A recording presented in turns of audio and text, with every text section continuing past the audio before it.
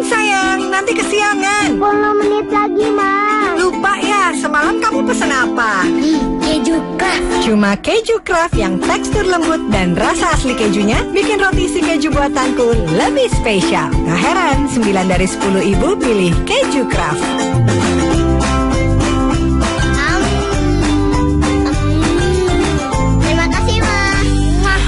Nah. Mulailah hari yang baik hanya dengan keju craft.